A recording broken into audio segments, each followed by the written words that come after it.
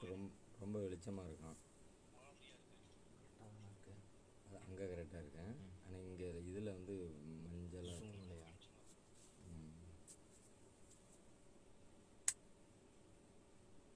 இப்போ எப்படி இருக்கு? ம் சரி. நான் இதில் கொஞ்சம் டல்லாக இருக்கேன். போயிட்டு தான் இருக்கேன் அஸ்ஸலாமு அலைக்கும் வரஹ்மத்துல்லாஹி வபரகாத்துஹு. அல்ஹம்துலில்லா نحمده ونستعينه ونستغفره ونعوذ بالله من شرور أنفسنا ومن سيئات أعمالنا من يهده الله فلا مضل له ومن يضلله فلا هادي له وأشهد أن لا إله إلا الله وحده لا شريك له وأشهد أن محمدا عبده ورسوله أما بعد கண்ணியத்திற்குரிய எல்லாம் உள்ள அல்லாஹுவின் நல்லடியார்களே கடந்த ஓராண்டுக்கும் மேலாக உலகம் முழுவதிலேயும் கொரோனா தொற்றின் காரணமாக மிகப்பெரிய சிக்கல்களை உலகம் முழுவதிலும் வாழ்ந்து கொண்டிருக்கிற எல்லா தரப்பு மக்களும் அனுபவித்து கொண்டு வருகிறோம். அதில் யாருமே விதிவிலக்குன்னு சொல்ல முடியாது. எவ்வளவு பெரிய உயரத்தில் இருந்த மனிதர்களாக இருந்தாலும் சரி எவ்வளவு கீழ்நிலையில் பொருளாதாரத்தில் சமுதாயத்தில் இருந்த மக்களாக இருந்தாலும் சரி எல்லாருமே அவரவர்களுடைய நிலைக்கு ஏற்ப ஏதோ ஒரு வகையில் சிரமங்களை கஷ்டங்களை சந்திச்சுக்கிட்டு தான் நாம் இருக்கிறோம். அதில் குறிப்பாக நம்மை சுற்றிலும் இருக்கக்கூடியவர்களுக்கு இந்த தொற்று ஏற்பட்டு அதன் காரணமாக ஏற்படக்கூடிய மரணங்களை சமீப நாட்களாக நம்ம நிறையவே பார்த்துக்கிட்டு இருக்கிறோம். கடந்த முறை இருந்ததை விட இந்த முறை மீண்டும் இரண்டாவது அலை அப்படின்னு அவங்க சொல்கிறாங்க அது ஏற்படுத்தி இருக்கிற தாக்கம் சற்று அதிகமாகவே இருக்குது. வரக்கூடிய தொலைபேசி அழைப்புகள் எல்லாம் சில நேரங்களில் இப்போ சில நேரமல்ல பல நேரங்களில் தொடர்ச்சியாகவே நமக்கு ஒரு பெரிய அச்சத்தை தருகிறது. யாரை பற்றிய என்ன செய்தி வருதோ அப்படின்னு நினைக்கிற அளவுக்கு நெருக்கமான வட்டங்களில் தொடர்ந்து அடுத்தடுத்து அடுத்தடுத்து மரணங்களை நம்ம கேள்விப்பட்டுக்கிட்டே இருக்கிறோம்.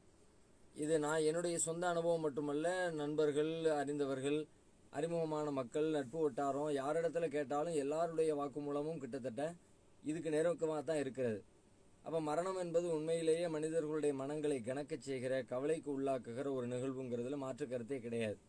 நம்மளோட நேற்று வரைக்கும் இருந்தவங்க இன்னைக்கு இல்லை அப்படின்னு சொல்லி சொன்னால் அந்த பிரிவு கண்டிப்பாக நம்மை வாட்டும் வதைக்கும்.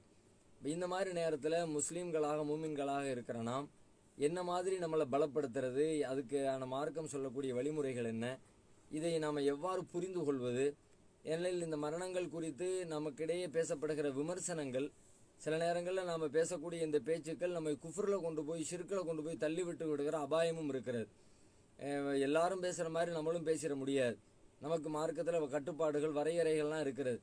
நபிசல்லா அலிஸ்லாம் அவர்கள் தன்னுடைய மகனாருடைய மரண நேரத்தில் சொன்னாங்கல்ல அவங்க தன்னுடைய குழந்தைய கையில் தூக்கி வச்சுக்கிட்டு அல் ஆயினு தத்மாவு அல் கல்பு யஹசூனு ஒய்னாலி ஃபிராக்கிக்க யா இப்ராஹிம் அல் மஹசூனூன் கண்கள் கண்ணீர் வடிக்கிறது உள்ளமோ வேதனையால் நிறைந்திருக்கிறது. உன்னுடைய பிரிவு எங்களை மிகுந்த கவலைக்கு உள்ளாக்கி விட்டது என்றெல்லாம் தம் மகனை கையில் தூக்கி வச்சுக்கிட்டு நபிசல்லா ஸல்லல்லாஹு அவங்க பேசுனாங்க. அப்படி அவங்க பேசுகிற தருணத்தில் கூட கடைசியாக என்ன சொன்னாங்க? ஆனாலும் எங்கள் இறைவன் பொருந்தி கொள்ளாத எந்த வார்த்தைகளையும் நாங்கள் சொல்லிவிட மாட்டோம். அப்படின்னு சொன்னாங்கல்ல அதுதான் நம்ம கவனிக்கணும். அது எல்லாம் கவலை எல்லாம் ஓகே தான். அது இருக்கும். மனிதன் என்ற அடிப்படையில் அது இயல்பு தான் அது தவிர்க்க முடியாது தான் ஆனால் அதை நாம் எப்படி பார்க்குறோம்? எப்படி புரிந்து கொள்கிறோம்? எப்படி மற்றவங்களிடத்துல அந்த கருத்துக்களை பரிமாறிக்கொள்கிறோம்? இதுவெல்லாம் ரொம்ப கவனத்திற்குரிய விஷயங்கள். இதில் நாம் கோட்டை விட்டோம்னா நம்ம ஒரு பெரிய அளவில் பாதிப்புக்கு நம்முடைய ஈமானே பாதிப்புக்கு கேள்விக்குள்ளாகிற அளவுக்கு மாறிவிடும். அதனால் இது குறித்த சில சிந்தனைகளை நம்முடைய நாம் இப்போ பகிர்ந்து கொள்வது நினைவூட்டுக் கொள்வது பொருத்தமாக இருக்கும் என்ற அடிப்படையில் தான் இந்த நேரலையில் உங்களை நாம் சந்திக்கிறோம். ஃபஸ்ட்டு நாம் இந்த மரணங்களை எப்படி புரிந்து கொள்வது அப்படின்னு கேட்டால் முதல்ல அல்லாவுடைய ஏற்பாடுன்னு நம்ம விளங்கணும். முதல்ல எப்படி விளங்கணும்னு கேட்டால் லைன் சீபனா இல்லாமா கத்தவல்லாஹுடனா அல்லாஹ் எங்கள் மீது விதித்ததை தவிர வேறொன்றும் எங்களை அணுகாது. இதுதான் நமக்கு மிக உ- உன்னதமான நமக்கு ஒரு மருந்து உற்சாக மருந்து. நம்ம வந்து அடையக்கூடிய எதுவாக இருந்தாலும் சரிதான். வாழ்க்கையில் இன்பமாக இருந்தாலும் சரிதான் துன்பமாக இருந்தாலும் சரிதான். அது எத்தனை பெரிய துன்பமாக இருந்தாலும் சரிதான். அது இவ்வளோ பெரிய கஷ்டத்தில் நான் மாட்டிக்கிட்டேனே அப்படின்னு நான் பேசுகிற விஷயங்களாக இருந்தாலும் சரிதான். எதுவாக இருந்தாலும் எல்லாமே ஏடு எழுதி முடிக்கப்பட்டுருச்சு. அல்லாஹ் என்ன விதிச்சிருக்கானோ அதுதான் நம்ம மீது நடந்துக்கிட்டு இருக்குது. இதை நாம் மனசுக்குள்ளே அசை போட்டுக்கிட்டே இருக்கணும். அல்லாவுடைய நாட்டத்தின்படி தான் இது நடந்திருக்குது அப்படின்னு சொல்லி சொல்லும் பொழுது அப்போ நம்ம நம்ம கையில் என்ன இருக்குது நான் கவலைப்படுறதுக்கும் நான் அதில் சோர்ந்து போகிறதுக்கும் என்ன இருக்குது? நான் ஒரு காரியத்தை தவறாக செஞ்சு ஒரு இழப்புக்கு உள்ளாயிட்டேன் அப்படின்னா ஓகே. நான் இப்படி பண்ணிட்டேனேன்னு கவலைப்படலாம். இறைவன் ஏற்படுத்திய விதி தானே அது? அல்லாவுடைய விதியின்படி ஒரு காரியம் நடந்திருக்கும் போது அதில் நம்ம யார் மேலே கோவப்படுறது யார் மேலே வருத்தப்படுறது? நபிசல்லா அலிஸ்லாம் அவங்களுடைய மகள் அவங்க புள்ள பே அதாவது ரசுல்லாவுடைய பேத்தி மரண நேரத்தில் இருக்கிறாங்க. அப்போ தன்னுடைய தந்தையாரை அழைச்சிட்டு வருமாறு ஒரு சஹாபியை அனுப்பி வைக்கிறாங்க. நபிசல்லா அலிஸ்லத்தை போய் கூப்பிடுறாங்க. இந்த மாதிரி உங்கள் மகன் உங்களை கூப்பிடுறாங்க. பேத்தி வந்து மரண நேரத்தில் சக்கராத்த ஹாலில் இருக்கிறாங்களாம் அப்படின்னு சொல்லி கூப்பிடுறாங்க. அப்போ நபிசல்லா அலிஸ்லாம் வந்து என்ன சொல்கிறாங்கன்னா இல்லை நான் வரல நீங்கள் பொறுமையாக இருக்க சொல்லுங்கள் அப்படின்னு மகளுக்கு அறிவுரை சொல்லி அனுப்புகிறாங்க திரும்ப ரெண்டாம் மட்டமும் மீண்டும் அழுத்தி அவங்க வ- வலியுறுத்தி வர சொல்கிறாங்க உடனே நபிசல்லா அலிஸ்லம் சஹாபாக்களோட கிளம்பி போகிறாங்க இப்போ நபிசல்லா அலிஸ்லம் முதல்ல தன்னுடைய மகளுக்கு அறிவுரை சொல்லி அனுப்புனாங்கல்ல அந்த அறிவுரை என்ன சொல்லி அனுப்புனாங்க? இன்னலில்லாஹி மாகத அகத மா ஆழ்த்தா குல்லு ஷெயின் இந்தஹு பி அதிலும் முசம்மா. இன்னலில்லாஹி மா அகத எடுத்தவை அனைத்தும் அல்லாவுக்குரியது வா வலகுமா ஆழ்த்தா கொடுத்தவை அனைத்தும் அவனுக்கே உரியது. எல்லாமே அவனுக்குரியது. அவன் கொடுக்குறான் அவன் எடுக்கிறான். அவன் கையில குழந்தைகள் கொடுக்கறது யார்? ஆண் பிள்ளைகள் பெண் பிள்ளைகள் நம்முடைய வாரிசுகள் நம்ம சொல்கிறவன் நம்மளாவே உருவாக்கிக்கிட்டோமா? அதுக்கான அதிகாரம் ஆற்றல் நமக்கு வழங்கப்பட்டிருக்குதா? இல்லையே.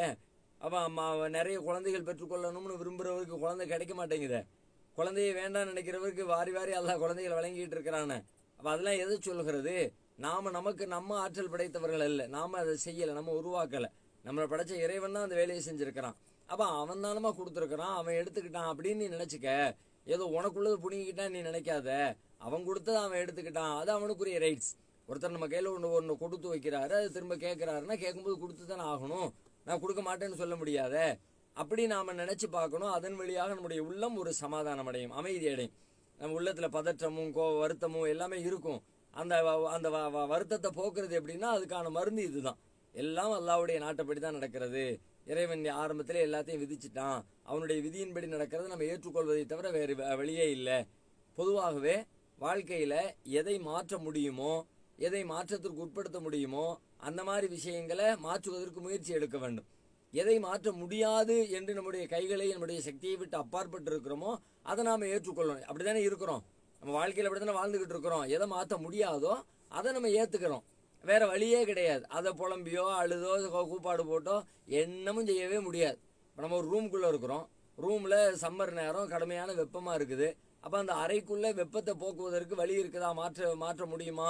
மாற்றுவதற்கு வழி இருக்கிறது. ஒரு ஃபேனை போட்டு அந்த வெப்பத்தை குறைக்கலாம். அந்த ரூமில் த- தண்ணீரை அதிகப்படுத்தி அதன் வழியாக கொஞ்சம் வெப்பத்தை குறைக்கலாம். அல்லது ஒரு ஏசியை ஃபிட் பண்ணி அதன் வழியாக வெப்பத்தை குறைக்கலாம். அதுவே தெருவில் பண்ண முடியுமா? ரோட்டில் பண்ண முடியுமா? வாய்ப்பே கிடையாது. அந்த அது அந்த அங்கே ரோட்டுக்கு போகும்போது வெயில் அடிச்சுதான் வெயில் அடித்தது தான் அந்த வெயிலை நம்ம ஏற்று தான் ஆகணும். அது மாதிரி தான் வீட்டுக்கு மழை பெய்யும் பொழுது வீட்டுக்குள்ளே ஒதுங்கி அதுலேருந்து நம்மளை காத்துக்கொள்ள முடியும். ஆனால் பெய்யக்கூடிய மழையை பெய்ய விடாமல் தடுக்க முடியுமா? முடியாது. அப்போ நம்ம ஏற்றுக்கொள்கிறோம். எதை ஏற்றுக்கொள்கிறோம் எது நம்முடைய சக்திக்கு அப்பாற்பட்டிருக்குதோ எது நம்ம நம்மளால் மாற்ற முடியாது என்ற நிலையில் இருக்குதோ அதை நம்ம ஏற்றுக்கிட்டு தானே வாழ்ந்துக்கிட்டு இருக்கிறோம். அந்த மாதிரி தான். அந்த இதை இது இதை இறைவன் நமக்கு தரக்கூடிய இந்த இந்த மாதிரியான வாழ்க்கையில் ஏற்படுகிற சோதனைகள் எல்லாமே நம்முடைய கையை விட்டு அப்பாற்பட்டது. அவன் தீர்மானிச்சிருக்கிறான். அவனுடைய தீர்மானத்தை அவன் செயல்படுத்துகிறான் பொழுது அதில் நான் குறுக்கிடவோ அதில் நான் மாற்று கருத்து சொல்லவோ அதை நான் திருத்தி அமைக்கவோ எனக்கு முடியாது என்று சொன்னால் நான் அதை ஏற்றுக்கொண்டுதான் ஆகணும். அந்த மனப்பக்குவத்தை நமக்குள்ளே நாம் வளர்த்து கொள்ள வேண்டும். அது நமக்கு உற்சாகத்தை தரும். அதன் வழியாக நம்ம வாழ்க்கையின் அடுத்த கட்டத்துக்கு நகர்ந்து செல்ல முயற்சி எடுக்க வேண்டும்.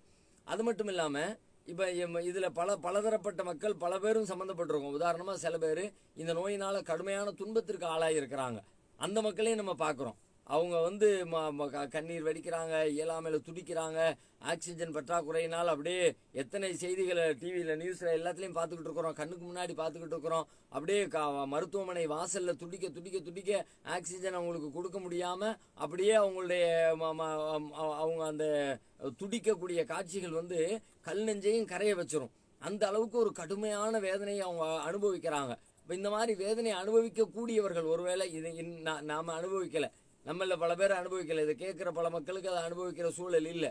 ஒருவேளை அல்லாஹ் நமக்கு தந்தால் அல்லா தருவானா தரமாட்டா தரக்கூடாது என்று நம்ம அல்லாவிடத்துல கேட்போம் அல்லா தந்துடாது என்று கோரிக்கை வைப்போம். இதிலிருந்து அல்லாவிடத்துல பாதுகாப்பு தேடுவோம். அதெல்லாம் ஓகே.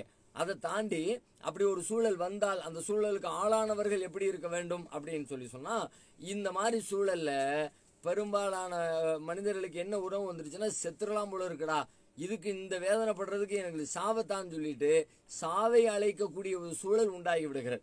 இந்த நோய் அல்லாமல் வேறு நோய்களுக்கு ஆட்பட்ட சில பல பேரை பற்றி நம்ம கேள்விப்பட்டிருக்கிறோம். அவங்க இந்த மாதிரி ம- மரணத்தை தாமாகவே தழுவி கொண்டார்கள் ஏன் கடந்த முறை கடந்த மார்ச் ஏப்ரலின் பொழுது கூட திருநெல்வேலியில் ஒரு பிரபலமான ஒருத்தர் வந்து இந்த மா- இந்த நோயினால் ஆட்பட்டு கடைசியில் அதனால் ஏற்பட்ட அந்த சமூக சிக்கல். ஏன்னா போன வருஷம் இது ஒரு சமூக சிக்கலாக இருந்துச்சு.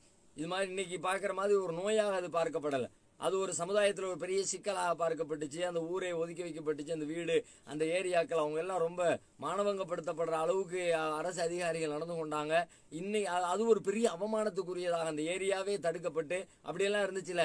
அப்போ அதில் பாதிக்கப்பட்ட ஒரு பிரபல்யமான ஒரு மனிதர் என்ன பண்ணார்? ஒரு பொருளாதார ரீதியாக மே மேல்தட்டில் இருக்கிற மக்களால் அறியப்பட்ட மனிதர் இப்படிப்பட்ட ஒரு சூழல் நமக்கு உண்டாயிடுச்சுன்னு சொல்லிட்டு அவர் தனக்குத்தானே மரணத்தை தேடிக்கிட்டார். அப்போ இந்த மாதிரி மரணத்தை தேடிக்கொள்ளலாம் வேதனை தாங்க முடியலையேன்னு சொல்லிட்டு சில பேருக்கு அப்படி உண்டாகி விடலாம். ஆனால் ஒரு முஸ்லீமுக்கு மூமினுக்கு அந்த உணர்வு வரவே கூடாது. செத்துறலாம் அப்படின்னு அல்லாஹ் இடத்துல கேட்கவோ அதுக்கான முயற்சிகளை மேற்கொள்ளவோ கூடவே கூடாது. ஏன்னா நபிசல்லா அலிஸ்லாம் என்ன சொல்கிறாங்க லாயத்த மண்ணை என்ன அகதக்கு முல்மோத் மின் லுர்ரின் அசாபகு உங்களில் யாருமே வந்து அவருக்கு ஏற்பட்ட துன்பத்தின் காரணமாக மரணத்தை ஆசைப்பட்டு விட வேண்டாம். ஃபைன் காணலா புத்த ஃபாயிலன். சரி ஒருவேளை அவருக்கு முடியலை. என்னமாவது கேட்கணும் இது சம்மந்தமாக தாங்க முடியலையே அப்படின்னு அவர் நினச்சாருன்னா அப்போ அதுக்கு ரசூல்லா அவர் வழி சொல்லி தர்றாங்க ஒரு துவாவை சொல்லி தர்றாங்க. கடும் வேதனையில் இதுக்கு இந்த மரணம் தான் நமக்கு வேண்டாம் வாழவே வேண்டாங்கிற அளவுக்கு உனக்கு நெருக்கடியும் நெருக்கடியும் விரக்தியும் இருக்குதா? தாங்க இயலலையா? அப்படின்னா நீங்கள் எல்லா இடத்துல ஒன்று வேணால் கேட்டுக்குங்க. இப்போ இது இது கூட சாய்ஸ் தான். கேட்டு தான் ஆகணும் இது ரசூலாவுடைய சுண்ணத்தை அப்படி நீங்கள் எடுத்துக்கொள்ளக்கூடாது கேட்டு தான் ஆகணுங்கிற கட்டாயத்தில் இருக்கிற யாராவது ஒருத்தர் இருந்தாருன்னா அவருக்கு நபிசல்லா அலிஸ்லாம் அவங்க சொல்லக்கூடிய ஒரு கடைசி கட்ட வாய்ப்பு என்ன? அல்லாஹும்ம அஹீனி மாகாணத்தில் ஹயாத்து ஹைரல்லி ஒத்த வஃபனி மா காணத்தில் வஃபாத்து ஹைரல்லி வஃபனி இதா காணத்தில் வஃபாத்து ஹைரல்லி என்ன சொல்கிறாங்க அல்லாஹும்ம அஹீனி மாகாணத்தில் ஹயாத்து ஹைரல்லி யா அல்லாஹ் நான் வாழ்வது எனக்கு நன்மையாக இருந்தால் என்னை வாழச் செய் ஓ என்னை நீ மரணிக்க செய் இதா காணத்தில் வஃபாத்து ஹைரன்லி மரணம் எனக்கு நன்மையாக இருந்தால் என்னை மரணிக்கச் செய் அப்படின்னு இது மாதிரி கேட்டுக்குங்க. நேரடியாக மரணத்தை தாழலான்னு கேட்டுறாதியே மரணத்துக்கான முயற்சி எடுத்துடாதியே இதுக்காக செத்து போயிடலாமங்கிற மாதிரியாக புலம்பிடாதீங்க. அப்படியாகவெல்லாம் சொல்லி விடாமல் ஒரு துவாவாக அல்லாவிடத்துல கோரிக்கை வைங்க. அல்லாஹ் கருணை இல்லவன். அப்போ உங்களுக்கு எதில் நன்மை இருக்குதோ அந்த நன்மை அவனுக்கு தான் தெரியும். மரணத்தில் நன்மை இருக்குதா? வாழ்க்கையில் நன்மை இருக்குதா? அவனுக்கு தான் தெரியும். ஏன்னா நமக்கு எதிர்காலம் தெரியாது தானே? நாளைக்கு என்ன நடக்குங்கிறத நம்ம அறிய மாட்டோம் தானே? இந்த இது வாழ் வாழ் அதனால அல்லாட்ட அல்லாவிடத்துல கோரிக்கை வச்சு இறைவா எனக்கு வாழ்வது நன்மை பயக்கும் என்றால் என்னை வாழச் செய்.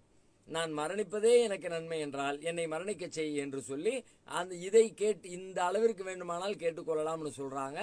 இது நாம தெரிந்து வைத்துக் கொள்ள வேண்டிய ஒரு செய்தி. அந்த நிலையில் இருக்கிறவர்கள் இதை புரிந்து செயல்படுத்த வேண்டிய ஒரு விஷயம்ங்கிறத நாம விளங்கி கொள்ள வேண்டும். ஒன்று ரெண்டாவது இந்த மாதிரியாக தொற்று ஒருவர் வந்து இன்னொரு பக்கத்தில் அப்படி கொள்ளை நோயாக பரவி அப்படியாக ஓடிக்கொண்டிருக்கிற காலத்தில் இதுக்கு ஆரம்பத்திலே நபிசல்லா அலிஸ்லாம் அவங்க நமக்கு தெளிவான ஒரு வழிகாட்டுதலை முன் வச்சிருக்கிறாங்க. எப்படி வச்சிருக்கிறாங்க அப்படின்னு கேட்டால் இந்த மாதிரி வந்துச்சுன்னா இதை கண்டு விரண்டு ஓடிடாதீங்க நீங்கள் வந்து ஒரு பக்கத்தில் மரணத்தை ஆசைப்படக்கூடாதுங்கிறது வேற.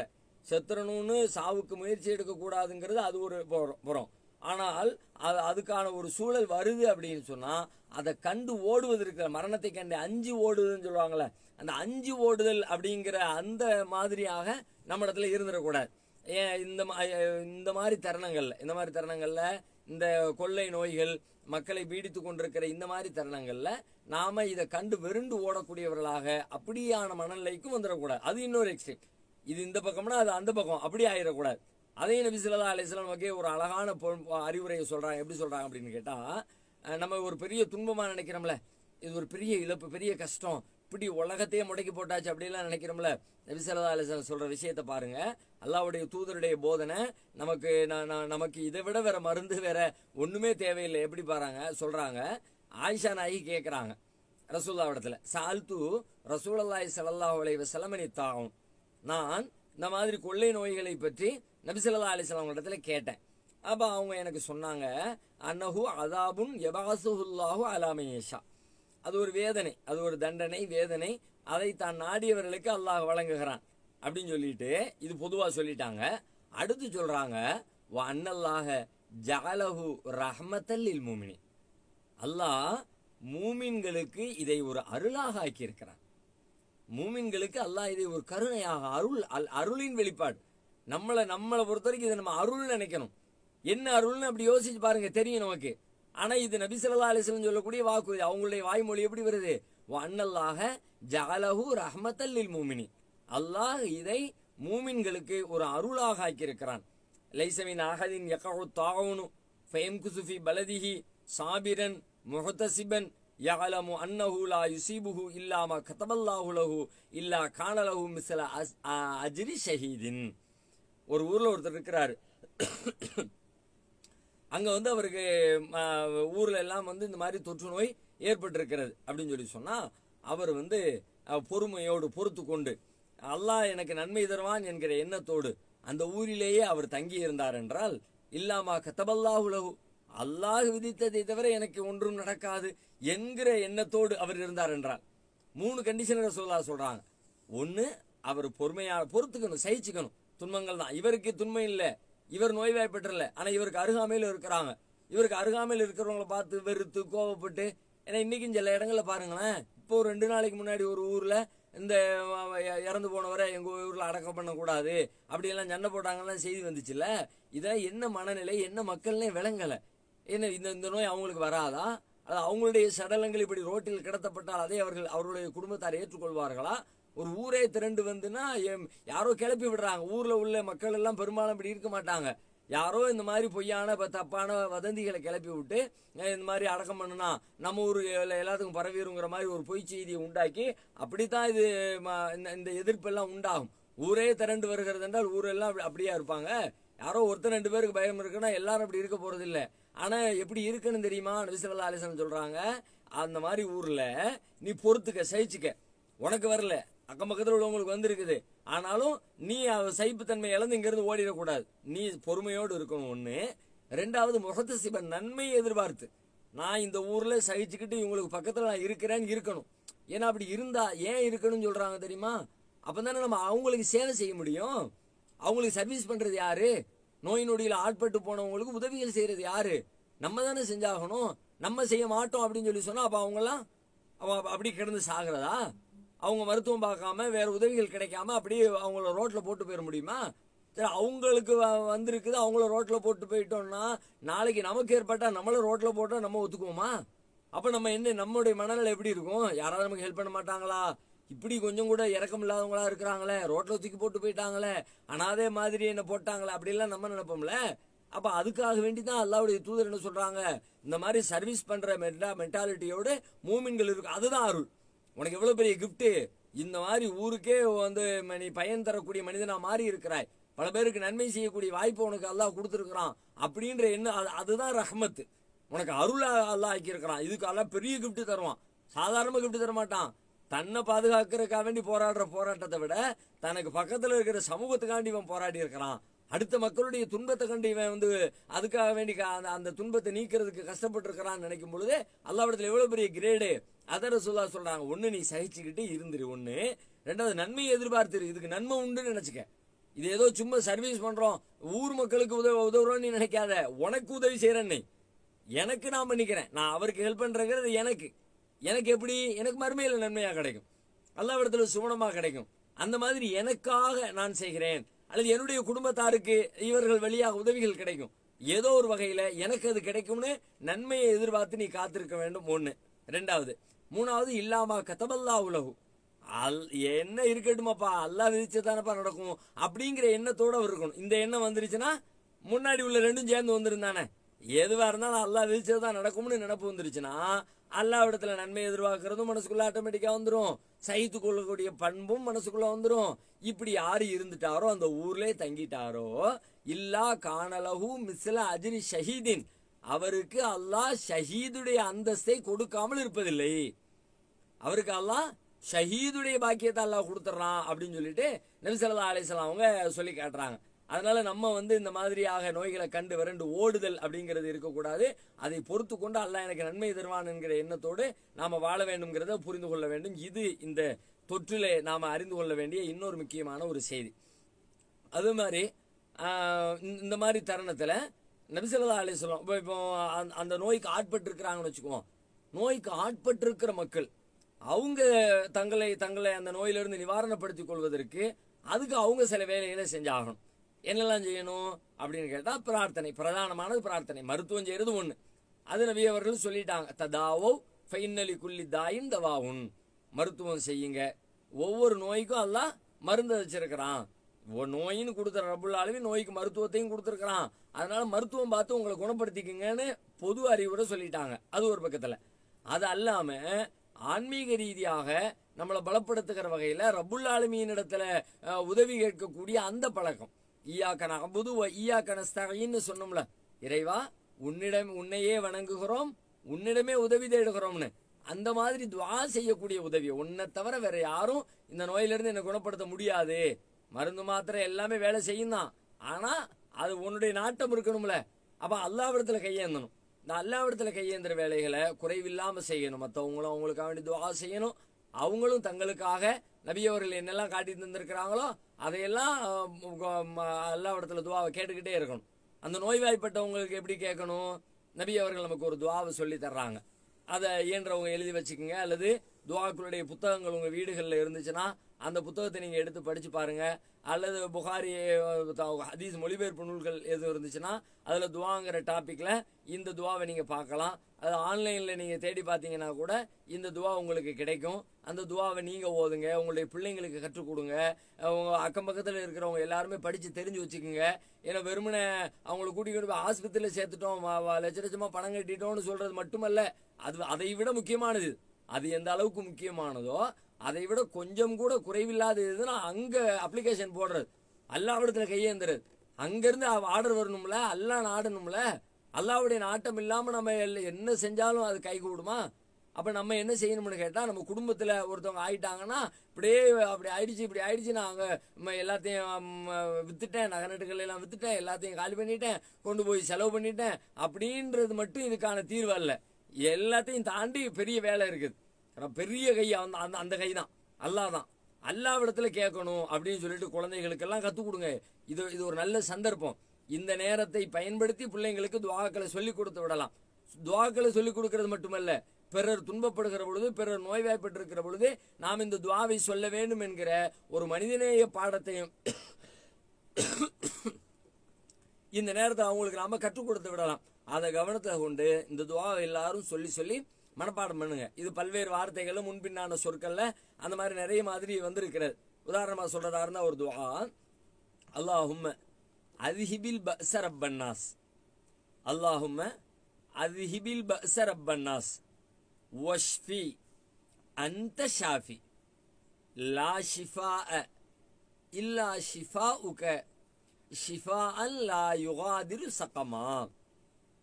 நான் ஒரு ரெண்டு மூணு தடவை முதல்ல சொல்கிறேன் அதுக்கப்புறம் வார்த்தை வார்த்தையாக பிரித்து சொல்கிறேன் இயன்றவங்க இப்பவுமே மனப்பாடம் பண்ணுங்க. இயலாதவர்கள் எழுதி வச்சு பிறகு மனப்பாடம் பண்ணுங்க. அது அல்லாதவங்க அந்த புத்தகத்தை எடுத்து படித்து பார்த்து கூட மனப்பாடம் பண்ணுங்க. அஹ் ம- மொபைல்ல தேடி படிக்க முடிஞ்சவங்க அதை தேடி படிச்சுக்குங்க. குறிப்பாக அவங்களுடைய குடும்பத்தார் எல்லாத்துக்கும் சொல்லி கொடுத்து அல்லாவிடத்தில் கோரிக்கை வைக்கிற வேலைகள் ஆரம்பிங்க. எப்படி? அல்லாஹும் அதிஹிபில் பசரப்பன்னாஸ் வஷ்ஃபி அந்த ஷாஃபி லாஷ் ஆ. ஆ.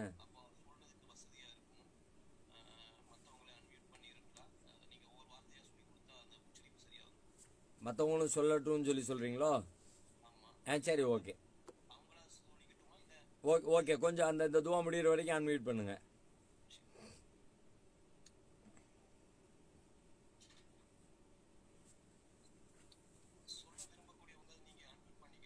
அந்த வார்த்தையை எதுவும் கரெக்ஷன் பண்ணணும்னு நினச்சிங்கன்னா கூட நீங்கள் சொன்னீங்கன்னா நான் கரெக்ஷன் பண்ணிடுவேன் நான் ஒரு ரெண்டு தடவை முதல்ல சொல்கிறேன் திரும்ப வார்த்தை வார்த்தையாக சொல்லித்தர்றேன் அதை நம்ம இன்ஷால்லாம் இப்போ மனப்பாடம் பண்ணிக்குவோம். முதல்ல அல்லாஹும்ம அதிஹிபில் பஸ ரப்பன்னாஸ் வஷ்ஃபி அந்த ஷாஃபி லா ஷிஃபா ஆ.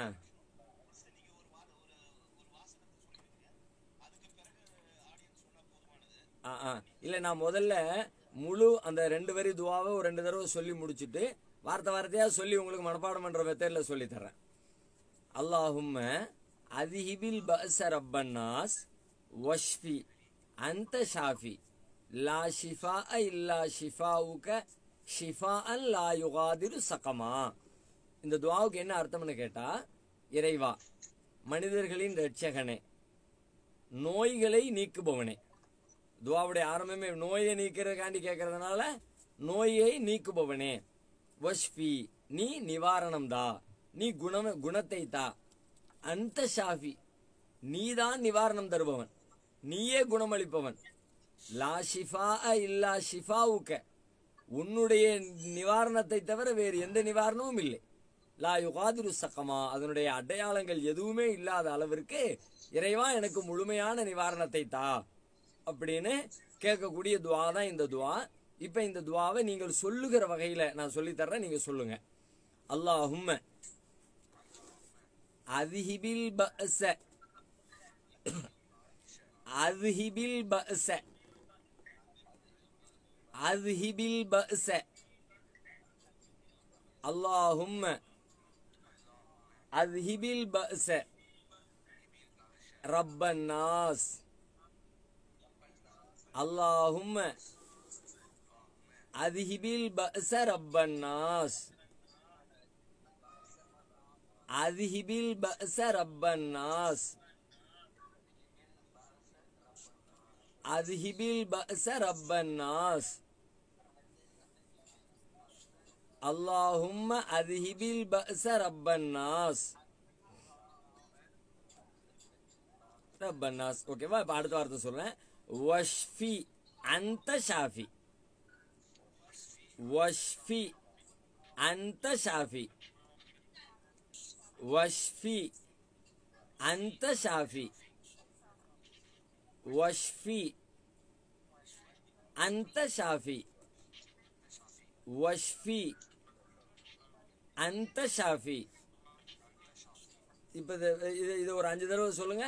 வஷ்ஃபி அந்த ஷாஃபி வஷ்ஃபி அந்த ஷாஃபி வஷ்ஃபி அந்த ஷாஃபி வஷ்ஃபி அந்த ஷாஃபி அந்த ஷாஃபி இப்போ ரெண்டையும் சேர்த்து சொல்லுங்க اللهم أذهب البأس رب الناس واشفي أنت شافي ஆ திரும்ப சொல்லுங்க. அல்லாஹும்ம அதிஹிபில் பஅச ரப்பன்னாஸ் வஷ்ஃபி அந்த ஷாஃபி. திரும்ப சொல்லுங்க.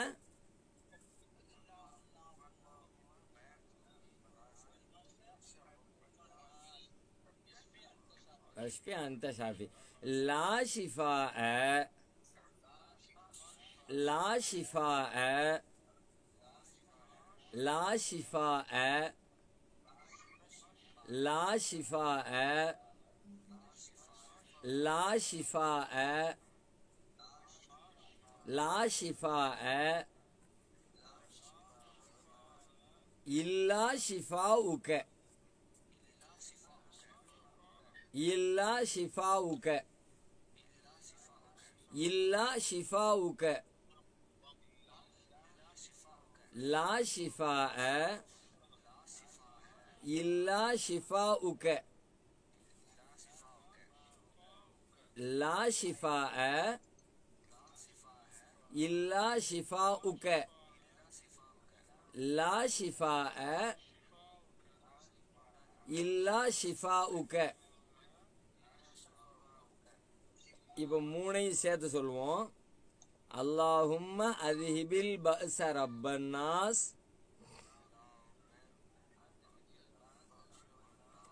அல்லாஹும்ம அதிஹிபில் பஅஸ ரப்பன்னாஸ்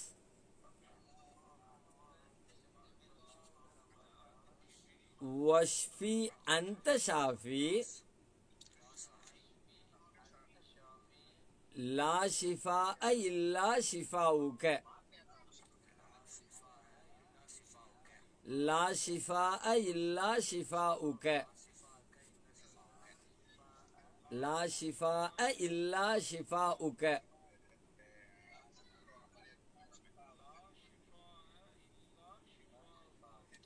அடுத்து ஷிஃபா அன் லா யுகாதிரு சகமா ஷிஃபாஅன் லா யுகாதிரு சகமா ஷிஃபாஅன் லா யுகாதிரு சகமா ஷிஃபாஅன் லா யுகாதிரு சகமா ஷிஃபாஅன் லா யுகாதிரு சகமா சொல்லுங்க. ஷிஃபாஅன் லா யுகாதிரு சகமா யு- யுகாதிரு ஏ கைன் தால் ரே யுகாதிரு யுகாதிரு சகமா ஷிஃபாஅன் லா யுகாதிரு சகமா ஷிஃபாஅன் லா யுகாதிரு சகமா சகமா சீன் காஃப் மீம் சகமா சகமா ஆ, சகமா ஷிஃபாஅன் லா யுகாதிரு சகமா اللهم أذهب البأس رب الناس واشفي أنت شافي لا شفاء إلا شفاؤك شفاء لا يغادر سقما சொல்லுங்க பார்க்கலாம் யாராவது ஒருத்தர்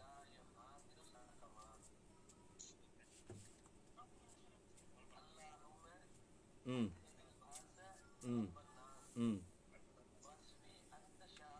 ம். ம். ஆ. சாக்காமா வெரி குட் போதும். மற்றவங்க சில பேருக்கு மனப்பாடம் ஆகாமல் இருந்திருக்கலாம். மனப்பாடம் ஆகாதவங்க திரும்ப கொஞ்ச நேரம் கழித்து மீண்டும் இதை போட்டு பார்த்தோ அல்லது அந்த துவா புத்தகத்தை எடுத்து வச்சு படித்தோ ஏதோ ஒரு வகையில் நீங்கள் அந்த துவாவை மனப்பாடம் பண்ணிக்கிங்க. மற்றவங்களுக்காக வேண்டி இந்த துவாவை கேளுங்க இது ஒன்று அது ஓதலாம் அது பொதுவான ஒரு துவா. அந்த துவாவை ஓதனோம்னா நம்ம துவா அங்கீகரிக்கப்படும் சொல்கிறாங்க ஆனால் இது பர்டிகுலராக நம்ம பேசிக்கிட்டு இருக்கிற இந்த விஷயத்துக்காக வேண்டி உள்ளது. இதுக்காக வேண்டி நம்ம நோயாளிகளுக்காக வேண்டி உள்ள இந்த துவா. அடு- அடுத்து அடுத்த விஷயம் என்னன்னு கேட்டால் நபிசல்லா அலிஸ்லாம் அவங்க அவங்க நோய்வாய்ப்பட்டிருந்த நேரத்தில் அவங்க என்ன செஞ்சாங்க? அவங்க என்னெல்லாம் ஓதுனாங்க? அப்படின்னு சொல்லி பார்த்தா நபிசல்லா அலிஸ்லாம் பொதுவாகவே நோய்வாய்ப்பட்டிருக்கிற தருணங்களில் எல்லாமே மூன்று சூறாக்களை ஓதி கைகளில் ஊதி தடவுறது வழக்கம். மேலே மேனியெல்லாம் தடைக்குவாங்க முகத்தில் உடம்புல கையில் எல்லா பக்கத்துலையும் தடவிக்குவாங்க. அது என்ன மூணு சூறா அப்படின்னு கேட்டால் நம்ம எல்லாருக்குமே தெரிஞ்ச பெரும்பாலும் மனநம் செய்து வைத்திருக்கிற துவா தான் குல் அஹது குல் அவுது பிரபில் ஃபலக்கு குல் அவுது பிரபின் நாஸ் எத்தனை தடவை வேணாலும் ஓதிக்கலாம். திரும்ப திரும்ப ஓதி கூட ஒரு தடவை ஓதியும் தடவிக்கலாம்.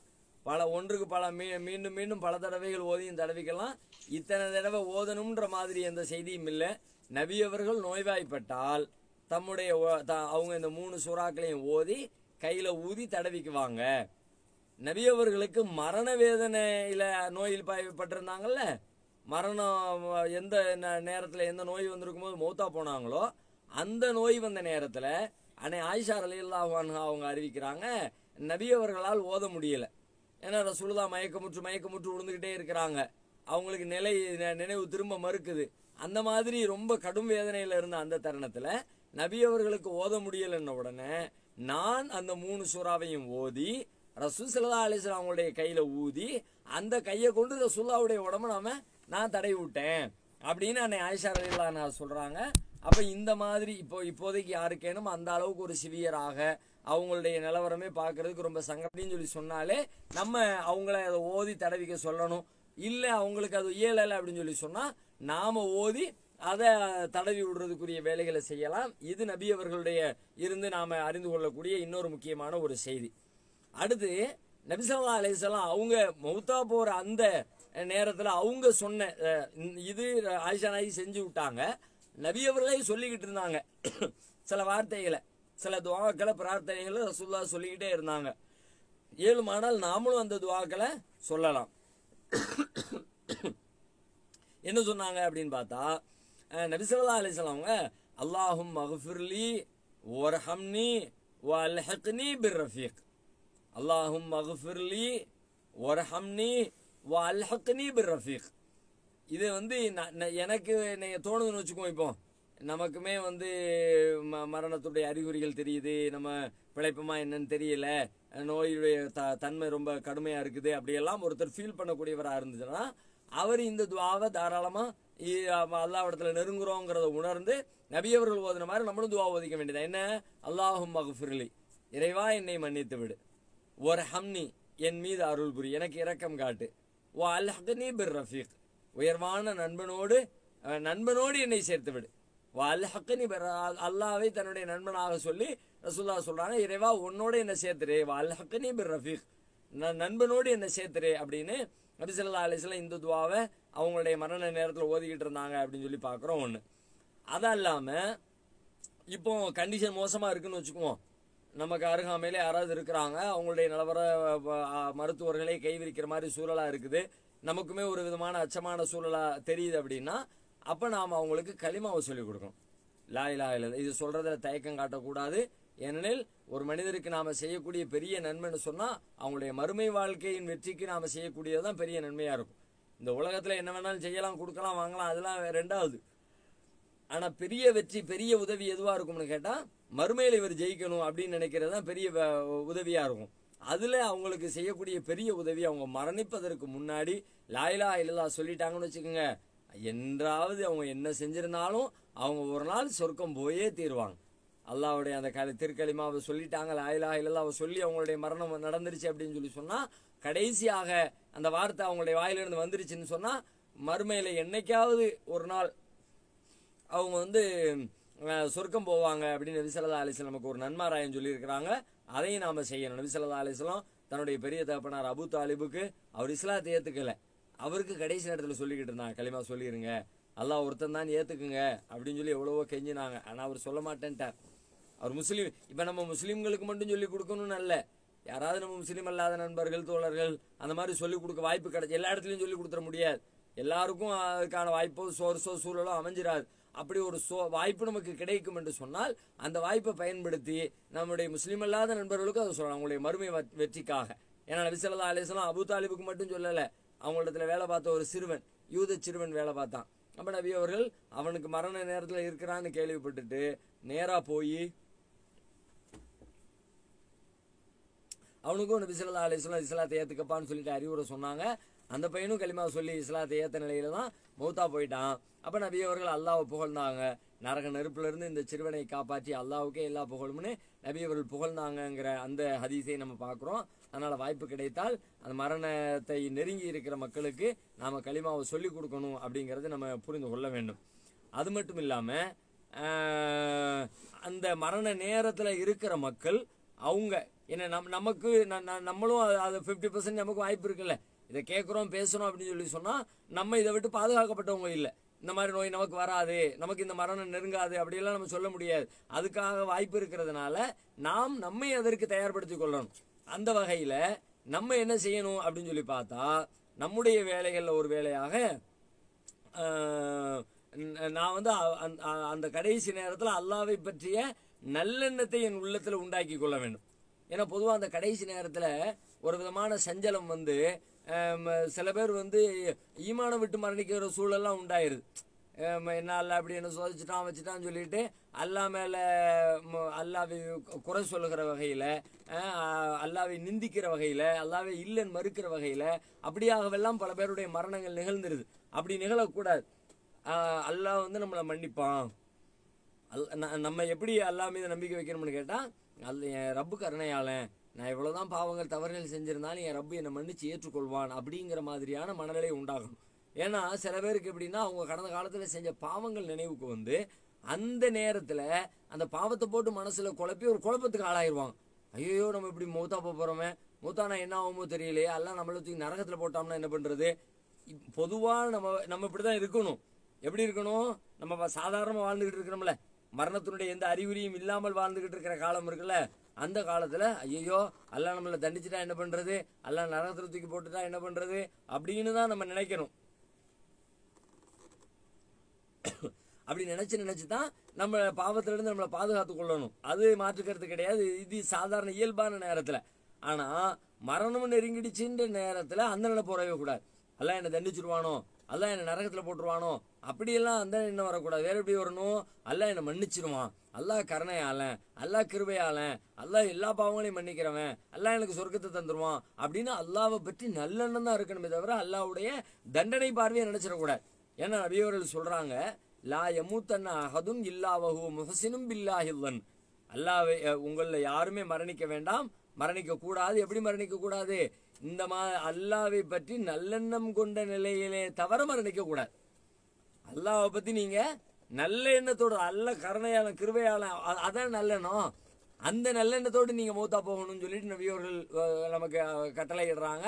அதனால நம்ம கடைசி நேரத்தில் தேவையில்லாத சஞ்சலத்துக்கு ஆளாகி மனக்குழப்பத்துக்கு ஆளாகி அல்லாவை பற்றிய எதிர்மறையான சிந்தனைகளோடு நாம் மரணித்து விடக்கூடாது. அதுக்கு தயாரிப்போட அதுக்கான மனநிலையோடு நம்ம இருக்க வேண்டும் என்பதையும் புரிந்து கொள்ள வேண்டும். அடுத்ததாக இந்த விஷயத்தில் இன்னைக்கு நாம சமூகத்தில் பேசப்படுற பல விஷயங்களை வச்சு பார்க்கும் பொழுது சில தெளிவு தேவைப்படுகிறது. என்ன தேவைப்படுது அப்படின்னு சொல்லி பார்த்தா இதில் வந்து நிறைய சிறு வயது மரணங்களை பார்க்கணும். சிறு வயது மரணங்கள் அப்படின்னா இளவை சின்ன வயசு பதினஞ்சு இருபது முப்பது நாற்பது விதிவிலக்கெல்லாம் அந்த மாதிரி மரணிக்கிறாங்க. ஒரு நாற்பது ஐம்பது அப்படியும் மரணிக்கிறாங்க. அது ரொம்ப முதிய வயது அறுபத்தஞ்சு எழுபது எண்பது தொண்ணூறு அப்படியும் மரணிக்கிறாங்க. எல்லா தரப்புலையும் இந்த மரணங்கள் நிகழ்ந்தும். எல்லா காலத்திலும் இது உள்ளது தான் எல்லா வயதினரும் மரணிப்பது என்பது எல்லா காலத்திலும் உள்ளதுதான். ஆனாலும் கூட இந்த நேரத்தில் அதிகமான மரணங்களை நாம் கேள்விப்படுகிற சந்தித்து கொண்டிருக்கிற காரணத்தினால இந்த பேச்சுக்கள் சமூகத்தில் அதிகரித்து கொண்டே இருக்கிறது. அப்போ அதனால இது குறித்த ஒரு தெளிவு வேணும். எப்படி வேணும் அப்படின்னு சொல்லி கேட்டால் ஃபஸ்ட்டு இந்த மா- ஒரு ஒரு வயதுக்கு மேலே கல்யாணம் முடிச்சு பிள்ளைங்களை பெற்று பேரம்பேத்தி எடுத்து அப்படியாகவெல்லாம் அதுக்கு பிறகு ஒருத்தவங்க மரணிச்சாங்கன்னா அதை இயல்பாக ஏற்றுக்கொள்ளக்கூடிய ஒரு சமூகம் ஒரு சிறு வயதில் ஒருத்தர் மரணிச்சார் அப்படின்னு சொல்லி சொன்னால் அதை விட குறைந்த வயதில் மரணிச்சாருன்னா அதை அகால மரணம் அப்படிங்கிற மாதிரி பேசுகிறாங்க அது சின்ன பிள்ளைங்க யாராவது மூத்தா போயிட்டாங்கன்னா பெத்தவங்க செஞ்ச பாவம்னு பேசுகிறாங்க திடீர்னு ஒருத்தர் மூத்தா போயிட்டார் அப்படின்னா என்ன இப்படி ஒன்றும் இல்லாமல் துடிக்க டப்புன்னு போயிட்டான் அப்படின்ற மாதிரி இதுவெல்லாம் விமர்சனத்துக்குள்ளாகுது. இதையெல்லாம் திடீர் மரணங்களை கேவலமாக பேசுகிறாங்க இழிவாக பேசுகிறாங்க அது மாதிரி சிறு வயது மரணங்களை இழிவாக பேசுகிறாங்க நடுத்தர வயது மரணங்களை இழிவாக பேசுகிறாங்க ரொம்ப சிறு வயது மரணமாக இருந்துச்சுன்னா குழந்தைகள் சிறுவர்களுடைய மரணமாக இருந்தால் அவங்களுடைய பெற்றோர்களை வந்து குறை கூறி பேசுகிறாங்க இதெல்லாம் அப்பம் செஞ்ச பாவம் அவங்க ஆத்தா செஞ்ச பாவம் அப்படியெல்லாம் பேசுகிறாங்க இது மார்க் அடிப்படையில் சரியான்னு பார்த்தா அது அப்படிலாம் பேசக்கூடாது. நம்ம அந்த மாதிரியாக பேசுவதற்கு மார்க்கத்தில் அனுமதி கிடையாது. ஏன்னு கேட்டால் மரணத்தை விதிக்கிறவன் அல்ல அவன் லிக்குள்ளி உம்மத்தின் அஜல். ஃபைதா ஜா அஜலுகும் லா யஸ்தகிருன சாத்தன் லா யஸ்தகதிமுன் ஒவ்வொரு சமூகத்துக்கும் அதுக்குரிய நேரம் தவணை இருக்கிறது. அந்த தவணை வந்துருச்சுன்னு சொல்லி சொன்னால் முந்தவும் பாடாது பிந்தவும் பாடாது. அல்லாஹ் விதிச்ச விதிப்படி மூத்தா போயிருக்கிறாங்க. அது இதையெல்லாம் காரணமாக வைத்துக்கொண்டு நம்ம அதை விமர்சனம் பண்ணக்கூடாது. அப்படி விமர்சனம் பண்ணுறதா இருந்தால் இப்போ நம்ம சின்ன வயசுன்னு விமர்சனம் பண்ணுறோம்னு வச்சுக்குவோம். ஒருத்தர் வந்து குறைஞ்ச வயசு அதாவது எழுபது எண்பது அப்படியெல்லாம் இல்லாமல் அதை விட குறைந்த வயதில் இறந்துட்டாங்க அப்படின்னு சொல்லிட்டு அதை குறை சொல்கிறதா இருந்தால் நபிசல்லா அலிஸ்லாம் அவங்களுடைய பிள்ளைங்களை எடுத்துக்கோங்களேன். ரசூலுல்லா நேரடியாக நமக்கு நம்முடைய தலைவருடைய பிள்ளைங்களை எடுத்துக்கோங்களேன். அவங்களுடைய மரணம் எப்படி நிகழ்ந்திருக்கிறது? நபி அவர்களுக்கு நபி அவர்கள் மக்காவில் வச்சு ஒரு குழந்தை பிறந்துச்சு. அந்த குழந்தைக்கு பேர் ஒரு ஆம்பளை பிள்ளை காசிம். அதனால் ரசூலுல்லாவுக்கு ஒரு பட்டப்பேர் கூட இருந்துச்சு அபுல் காசிம். காசிமுடைய தந்தை அப்படின்னு கூப்பிட்டுக்கிட்டு இருந்தாங்க. இந்த காசிம்ன்ற குழந்தை ஒன்று இருந்துச்சு. அந்த குழந்தை சின்ன வயசுலேயே இறந்து போயிடுச்சு. இப்போ இது வந்து சின்ன வயசில் இருந்ததுனால பெத்தவங்க செஞ்ச கு- குத்தம்னு சொல்லுவோமா? அவங்க அம்மா தாய் தந்தையர்களுடைய பாவம் தான் பிள்ளைய பிடிச்சிருச்சுன்னு சொல்லுவோமா? முடியாது தானே சொல்ல மாட்டோம் தானே? காசிம் மட்டும் இல்லை ரசூல்லாவுடைய பிள்ளைங்க எல்லாருடைய மரணத்தையும் பாருங்க எல்லாமே குறைஞ்ச வயசு தான். நாம் நினைத்து கொண்டிருப்பதை போல அவங்க எல்லாருமே ரொம்ப காலம் வாழ்ந்து கல்யாணம் முடிச்சு பேரம் பேத்தி எடுத்து அப்படி அப்படி அந்த மாதிரி நீண்ட ஆயுளுக்கு பிறகு மௌத்தா போகலை. உதாரணமாக சொல்கிறதா இருந்தால் ரசுல்லாவுடைய மகள் ருக்கையாரல் எல்லாம் அல்லாவுன்ஹா ருக்கையார் அலி எப்போ மூத்தா போனாங்க? அவங்க ஹிஜ்ரி ரெண்டுல மூத்தா போனாங்க. ஹிஜ்ரி ரெண்டுங்கிறதுல அப்போ அவங்களுடைய வயசு என்னவா இருக்கும்? ரசுல்லா இஸ்லா அலிஸ்லாம் ஹிஜ்ரி பத்தில் மூத்தா போகும்போது ரசுல்லாவுக்கு வயசு அறுபத்தி மூணு அப்படின்னா அவங்கள விட ம- ஒரு இருபது இருபத்தஞ்சு வயசுக்கு பின்னத்தானே தானே இருப்பாங்க. இப்போ இது இயல்பான மரணத்துக்குரிய வயதாக நம்ம எடுக்கலையே. அப்போ ஹிஜ்ரி ரெண்டுல மூத்தா போனாங்களே. சரி ரசுல்லாவுடைய மூத்த ஜெயினபர் எல்லாம் அவனுங்க அவங்க எப்போ மூத்தா போனாங்க? ரசுல்லா உயிரோடு வாழுகிற பொழுதே தான் அவங்களும் மூத்தா போனாங்க. ஹிஜ்ரி எட்டில் மூத்தா போயிட்டாங்களே. அப்போ அவன் அவ- அவ- அதை என்ன சொல்லுவோம் உம்மு குல்சும் ரசுல்லாவுடைய வா வாழ்நாள் ரசுல்லா வாழுகிற பொழுது அவங்க அவங்க மக உம்மு குல்சும் மூத்தாயிட்டாங்க ருக்கையா மூத்தாயிட்டாங்க ஜெயினப் மூத்தாயிட்டாங்க. என் ஃபாத்திமா அலி அல்லாவுனா அவங்களும் ரசுல்லா மூத்தா போய் ஒரு ஆறு மாதத்தில் மூத்தா போயிட்டாங்களே. எல்லாருமே ஒரு நடுத்தர வயசு தானே. ரொம்ப அதிகபட்ச வயசு இல்லையே. அப்போ இதை வச்சு நம்ம என்ன சொல்ல வர்றோம்? சிறு வயசில் பிள்ளை ஏன் இப்ராஹிம் பால்குடி பருவத்திலே ரசுல்லாவுக்கு இறந்துட்டாங்களே. ரசுல்லாவுடைய மகன் இப்ராஹிம் ரசுல்லா சொன்னாங்க இப்ராஹிமுக்கு அல்லாஹ் மறுமையில் சொர்க்கத்தில் பால்குடி தாய்மார்களை ஏற்படுத்துவான்னு சொல்லி சொன்னாங்களே அப்போ பால்குடி பருவத்திலே பிள்ளை இறந்து போச்சு அப்போ ரசுல்லாவை குறை சொல்ல போகிறோமா எனவே இந்த திடீர் மரணங்களை எல்லாம் நம்ம குறையாக எல்லாம் பேசி கொண்டிருப்பது என்பது மார்க் அடிப்படையில் சரியானது கிடையாது. அல்லாவுடைய நாட்டம் என்று சொல்லி அதை நாம் பொருந்தி கொள்ள வேண்டும்ங்கிறத நாம் புரிஞ்சுக்க வேணும். அடுத்து அதை விட முக்கியமாக இதில் நாம் கவனிக்க வேண்டிய ரொம்ப முக்கியமான விஷயம் என்ன அப்படின்னு சொல்லி சொன்னால் இந்த மாதிரி நடுத்தர வயது வயதை சார்ந்தவர்களுடைய மரணத்தினால் அவர்களுடைய குடும்பம் அப்படியே தேங்கி நிற்கும். ஒருத்தர் மூத்தா போயிட்டாரு. அவர் அவருடைய மனைவி இருக்கிறாங்க. அவருடைய பிள்ளைங்க ரெண்டு மூணு பிள்ளைங்க இருக்கிறாங்க. அல்லது அவங்களுடைய தாயார் தந்தையார் இருக்கிறாங்க. இப்போ இந்த குடும்பத்துடைய நிலவரம் என்ன? இதை யார் பா பராமரிக்க போகிறா இவர் தான் சம்பாதிச்சுக்கிட்டு இருந்தார். இவர் சம்பாதிச்சு தான் அத்தாவை காப்பாற்றினார் அம்மாவுக்கு அம்மாவை பார்த்துக்கிட்டு இருந்தாரு. மனைவிக்கு பார்த்துக்கிட்டு இருந்தார் பிள்ளைங்களை பாடி பார்த்துக்கிட்டு இருந்தார் இவரை சார்ந்திருந்த ஒரு நாலு பேர் அஞ்சு பேர் ஆறு பேர் ஒரு கொண்ட ஒரு டீமு. அவ எல்லாமே இயலாத குழந்தை இருப்பாங்க. பத்து வயசில் எட்டு வயசில் பன்னெண்டு வயசில் சின்ன பையங்களா இருப்பாங்க. அவங்களுடைய நிலவரம் என்ன? நம்ம இதுவரைக்கும் வெ- எந்த வேலைகளும் வெளி உலகத்தை பற்றி பெருசாக அறிந்து கொள்ளாத மனைவி வீட்டுக்குள்ளே இருந்திருப்பாங்க. அவங்களுடைய எதிர்கால வாழ்க்கை என்ன? முதிய வயதில் இருக்கக்கூடிய பெரியவங்க இருப்பாங்க. அவங்களுடைய நிலவரம் என்ன? இதுக்கெல்லாம் சமூகமாக சமூகத்தில் ஒரு அங்கமாக. நான் எனக்கு என் மனைவிக்கு என் பிள்ளைக்கு அப்படின்னு பார்ப்பேன் அது வாழ்கிறேன் ஓகே. அது செய்யணும் தான் அதுதான் அப்படி தான் மார்க்கம் சொல்லியிருக்குது. அப்படி அப்படிதான் நம்ம வாழ்கிறோம் ஓகே. ஆனால் என் பக்கத்து வீட்டில் ஒருத்தன் இறந்துட்டான் நினைப்பான். அப்போ அவன் அவனால் பார்க்க பராமரிக்கப்பட்டவங்களை யார் பராமரிக்கிறது? நான் தான் பராமரிக்கணும். அந்த உணர்வு எனக்கு வர வேண்டாமா? அப்போ இன்னைக்கு இந்த மரணங்கள் அதிகமாக நம்ம கேள்விப்படுறோம் அப்படின்னா நம்ம மேலே சமூக பொறுப்பு அதிகரிக்குது. ஊரில் இருக்கிறவங்க கூடி முடிவெடுங்க அதை கண்டுக்காமல் இருக்காதீங்க. அவங்க பார்த்துக்குவாங்க நமக்கு என்ன வந்துச்சு அப்படின்னா நம்மளாம் மூமின்களா? அல் மூமினூன கரஜுலின் வாஹிதின்.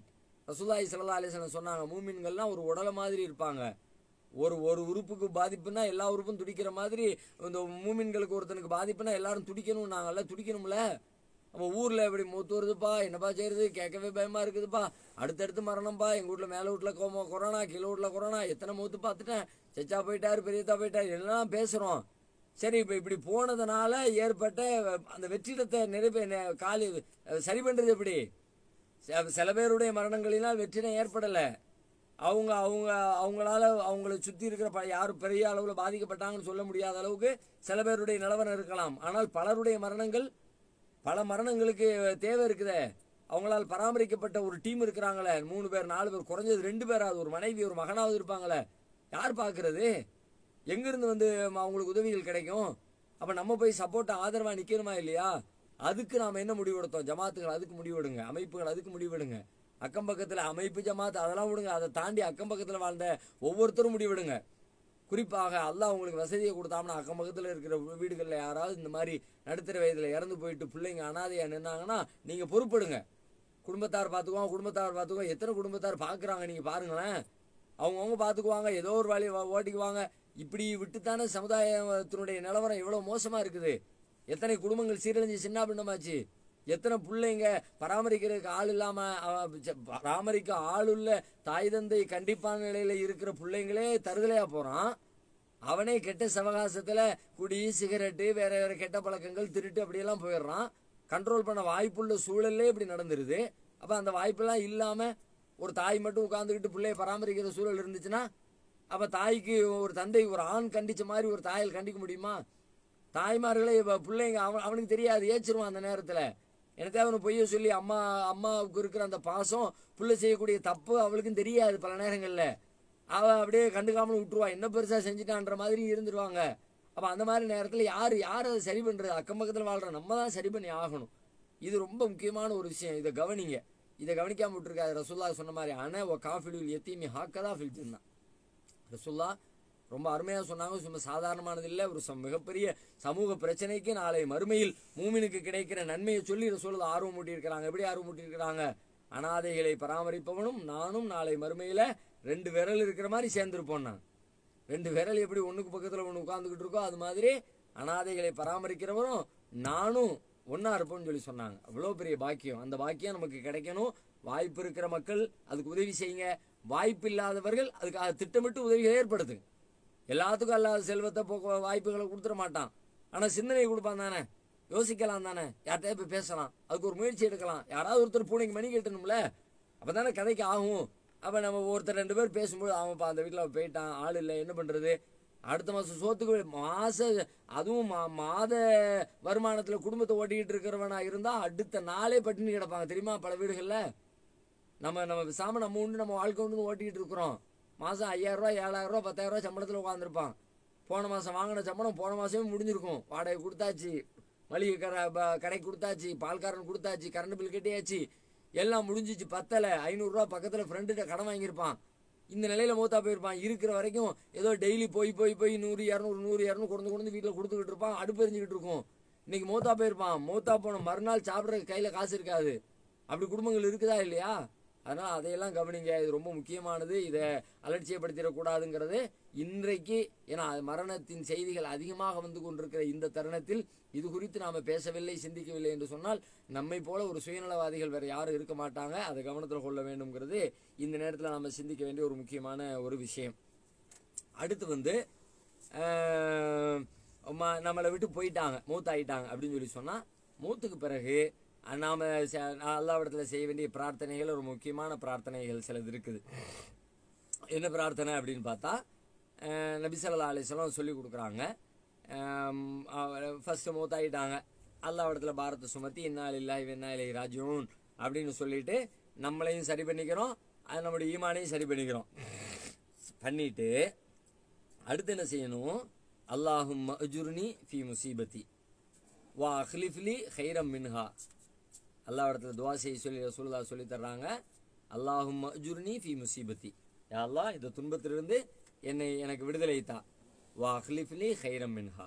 இதை விட சிறந்ததை எனக்கு பகரமாகத்தான் எந்த துன்பமாக இருந்தாலும் சரி. அது அது அது நம்ம நினைப்போம். அதை விட சிறந்ததெல்லாம் ஒன்றும் இருக்காதுன்னு நினைப்போம். ஆனால் நம்ம அப்படி நினைக்க தேவையில்லை. எது சிறந்தது எது சிறந்தது இல்லைன்னு அல்லாவுக்கு தான் தெரியும்.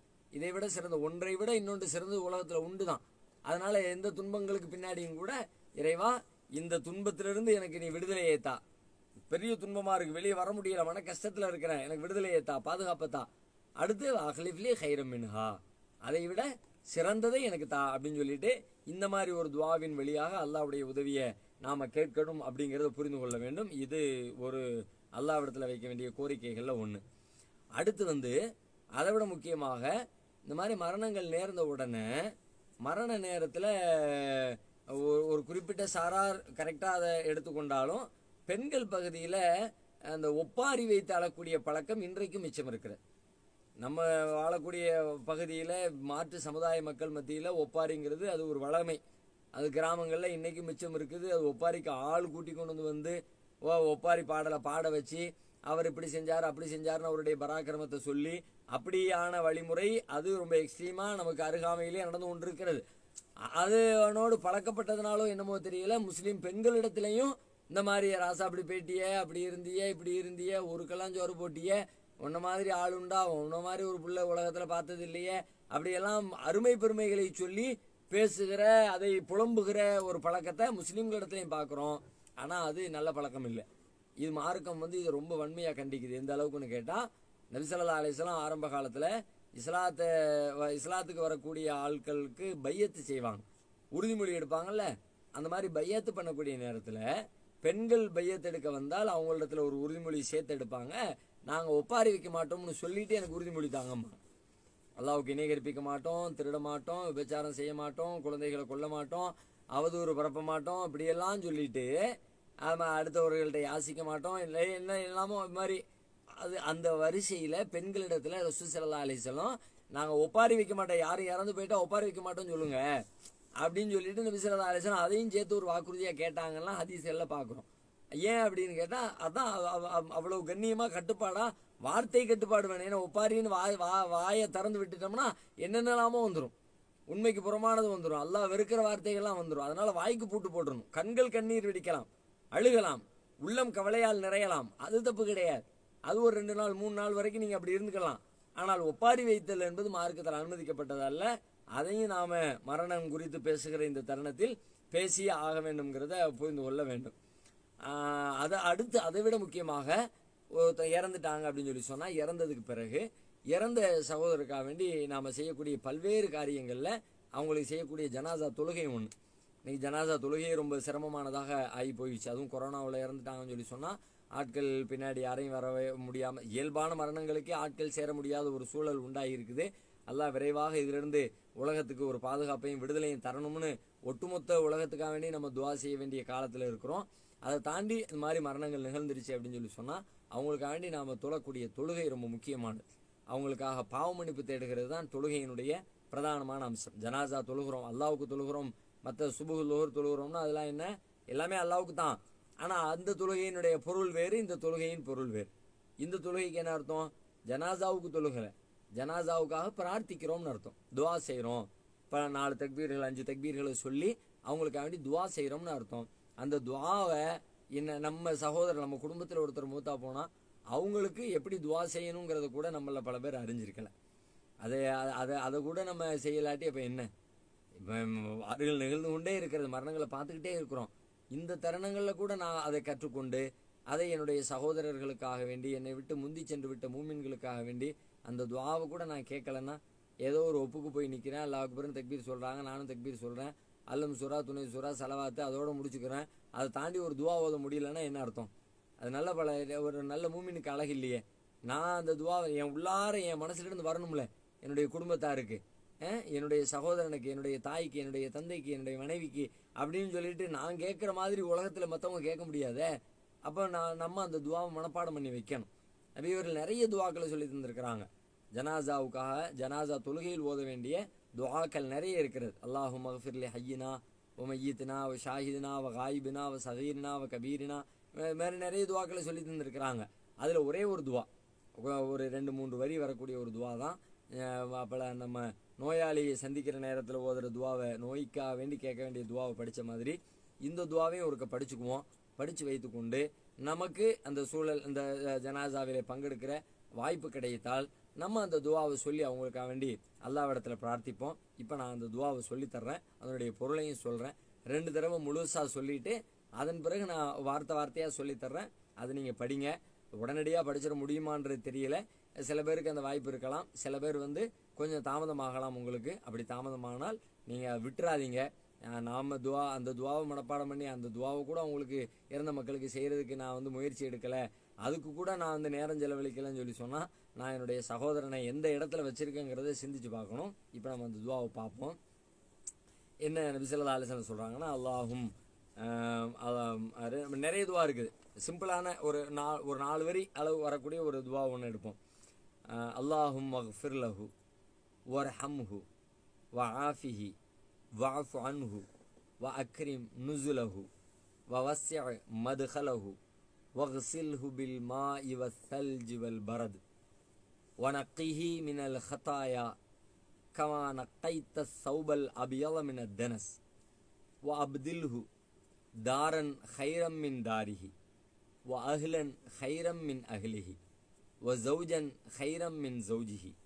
வ அது ஹில்ஹுல் ஜன்னத்தை வ அழுதுஹுமின் அதாபில் கபர் கொஞ்சம் பெரிய துவா தான்.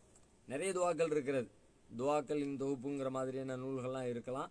அந்த துவா அந்த புத்தகத்தை நீங்கள் எடுத்து பார்த்தீங்கனாலே அது மாதிரி அல்லது புகாரி முஸ்லீம் போன்ற ஹதீஸ் நூல்களை எடுத்து பார்த்தீங்கன்னா கூட உங்களுக்கு அதில் உள்ள துவாக்களை போட்டிருப்பாங்க. இதை இது ரொம்ப பெருசுன்னு நினைக்கிறவங்க இதை விட சின்ன துவாக்களை நீங்கள் தேர்ந்தெடுத்து நீங்கள் மனப்பாடம் பண்ணலாம். இயன்றவங்க இதையே மனப்பாடம் பண்ணுங்கள் நல்ல அருமையான கருத்துள்ள நல்ல அ- அற்புதமான ஒரு பிரார்த்தனை அது அல்லாஹும் மஃபிர் லஹு வர்ஹம்ஹு وعافه واعف عنه وأكرم نزله ووسع مدخله واغسله بالماء والثلج والبرد ونقه من الخطايا كما نقيت الثوب الأبيض من الدنس وأبدله خيرا من داره وأهلا خيرا من أهله وزوجا خيرا من زوجه وأدخله الجنة وأعذه من عذاب القبر இப்போ சொ- வார்த்தை வார்த்தையாக சொல்கிறேன் நீங்கள் அப்படியே சொல்லிட்டு வாங்க பின்னாடி அல்லாஹும் மஃபிர் லஹு வர்ஹம்ஹு அல்லாஹும் மஃபிர் லஹு வர்ஹம்ஹு அல்லாஹும் மஃபிர் லஹு வர்ஹம்ஹு وعافه واعف عنه وعافه واعف عنه وعافه واعف عنه اللهم اغفر له وارحمه وعافه واعف عنه. اللهم اغفر له وارحمه وعافه واعف عنه. اللهم اغفر له وارحمه وعافه واعف عنه. وأكرم نزله وأكرم نزله ووسع مدخله. وأكرم نزله ووسع مدخله. اللهم اغفر له وارحمه وعافه واعف عنه وأكرم نزله ووسع مدخله. اللهم اغفر له وارحمه وعافه واعف عنه وأكرم نزله ووسع مدخله. اللهم اغفر له وارحمه وعافه واعف عنه وأكرم نزله ووسع مدخله اللهم اغفر له وارحمه وعافه واعف عنه وأكرم نزله ووسع مدخله اللهم اغفر له وارحمه وعافه واعف عنه وأكرم نزله ووسع مدخله ஒரு வரி அடுத்து وَغْسِلْهُ بِالْمَاءِ وَالثَّلْجِ وَالْبَرْدِ وَغْسِلْهُ بِالْمَاءِ وَالثَّلْجِ وَالْبَرْدِ وَغْسِلْهُ بِالْمَاءِ وَالثَّلْجِ وَالْبَرْدِ. وَغْسِلْهُ بِالْمَاءِ وَالثَّلْجِ وَالْبَرْدِ. وَغْسِلْهُ بِالْمَاءِ وَالثَّلْجِ وَالْبَرْدِ. وَغْسِلْهُ بِالْمَاءِ وَالثَّلْجِ وَالْبَرْدِ. وَغْسِلْهُ بِالْمَاءِ وَالثَّلْجِ وَالْبَرْدِ.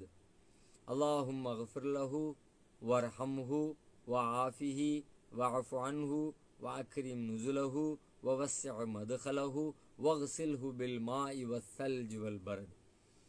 ونقه من الخطايا. ونقه من الخطايا. ونقه من الخطايا. كما نقيت الثوب الأبيض من الدنس. كما نقيت الثوب الأبيض من الدنس. كما نقيت الثوب الأبيض من الدنس.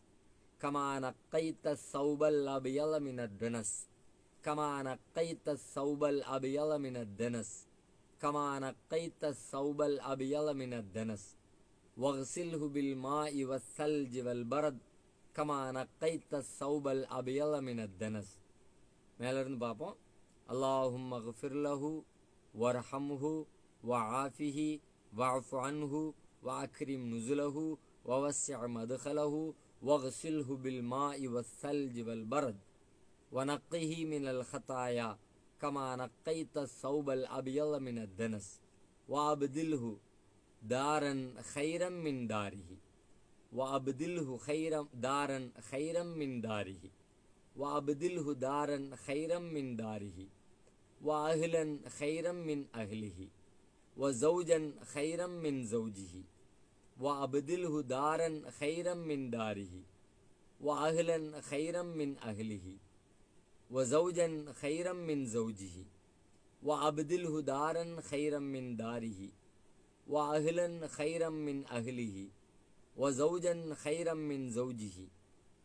اللهم اغفر له وارحمه وعافه واعف عنه وأكرم نزله ووسع مدخله واغسله بالماء والثلج والبرد ونقه من الخطايا.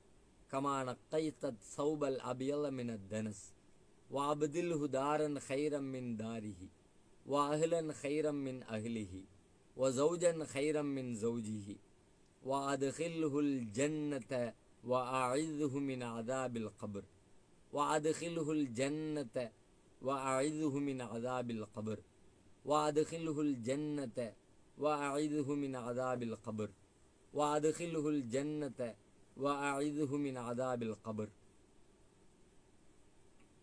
திரும்ப ஒரு கடைசியாக சொல்கிறேன் அல்லாஹும் அஃபிர் லஹு வர்ஹம்ஹு வஆஃபிஹி வஅஃபு அன்ஹு وأكرم نزله ووسع مدخله واغسله بالماء والثلج والبرد الله ونقه من الخطايا كما نقيت الثوب الأبيض من الدنس وأبدله دارا خيرا من داره வா அஹ்லன் ஹைரம் மின் அஹ்லிஹி வ ஜௌஜன் ஹைரம் மின் ஜௌஜிஹி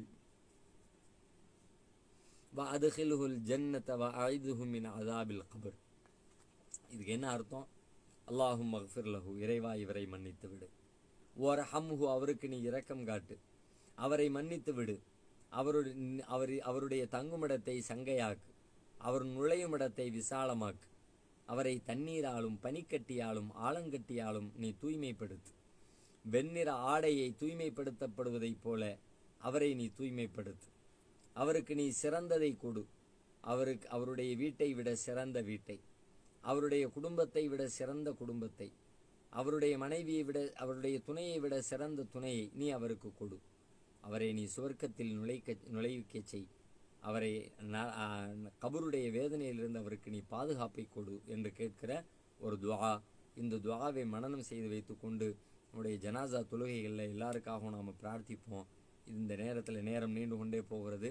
இதுக்கு மேலே நேரத்தை நீட்டிக்கிறதுங்கிறது அனைவரையும் சோர்வடைய செய்யுங்கிறதுனால இதில் தெரிந்து கொள்ள வேண்டிய மேலும் பல விஷயங்கள் இருந்தாலும் ஓரளவிற்கு இது குறித்து நம்மை பலப்படுத்தி கொள்ளவும் இந்த நேரத்தில் இறந்தவர்கள் இறக்க இறக்கும் தருவாயில் இருக்கிறவர்களும் அல்லது இறக்கும் தருவாயில் இருப்பவர்களுக்கு அருகில் இருப்பவர்களும் செய்து கொள்ள வேண்டிய சில விஷயங்களை உங்களுக்கு நாம் நினைவுபடுத்தி இருக்கிறோம் இதை கடைபிடித்து ஒழுகக்கூடிய நன்மக்களாக அல்லாஹ் ரபுல் ஆலமீன் நம் அனைவரையும் ஆக்கி அருள் புரிவானாக.